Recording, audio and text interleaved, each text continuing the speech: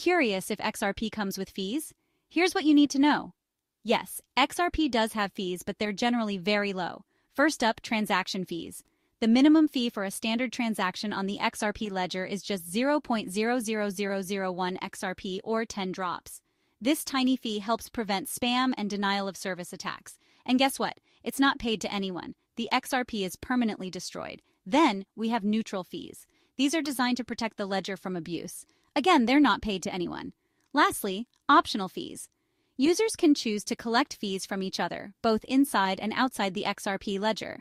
The XRP ledger is decentralized, secured by cryptography, and runs on a peer to peer network of servers. This means no single party can demand fees for network access.